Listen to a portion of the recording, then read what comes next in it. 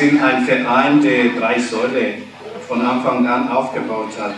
Integration für Menschen mit Behinderung und ohne Behinderung, für Menschen mit Migrationshintergrund, Breiten- und Gesundheitssport und ein Leistungs und Leistungssport. Ich bin ähm, gerne hierher gekommen und gratuliere dem Verein sehr herzlich zu seinem 15. Jubiläum. Das ist ein tolles Ereignis, was man heute feiern kann. Und lieber Erko, du hast ähm, eben schon so ein bisschen in deiner Begrüßung geschildert, wie die Geschichte war und wer alles geholfen hat, damit der Verein das ist, was er heute ist.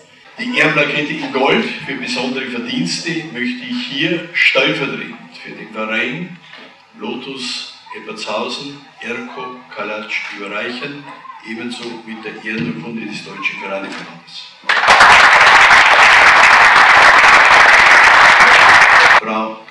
Bundesministerin, ich möchte Sie ebenfalls mit der Ehrenplakette in Gold des Deutschen Karateverbandes auszeichnen für die Arbeit, die Sie für uns geleistet haben.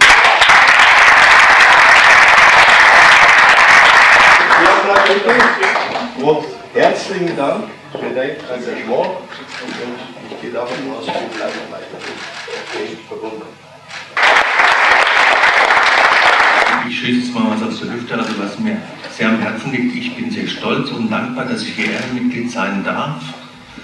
Und vielen Dank, lieber Wolfgang, für diese Auszeichnung. Hat mich völlig überrascht und geplättet. Und meinen besonderen Dank gilt an den Erko. Er hat mich mein ganzes Leben, seitdem ich ihn kenne, immer begleitet, war an meiner Seite, hat mich unterstützt. Und ich möchte euch ganz offiziell die Plakette, die niegelnagelneue Plakette, als anerkannter Stützpunktverein Integration durch Sport des Deutschen Olympischen Sportbundes überreichen. Lieber Erko, herzlichen Glückwunsch. Danke. Es ist wunderbar, in welcher Art und Weise hier Integration, Inklusion und Sport miteinander verbunden ist.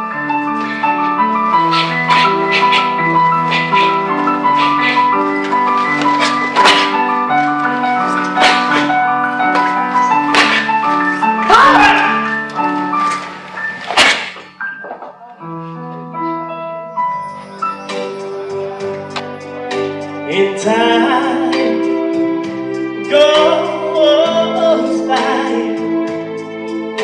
So slowly in time can change?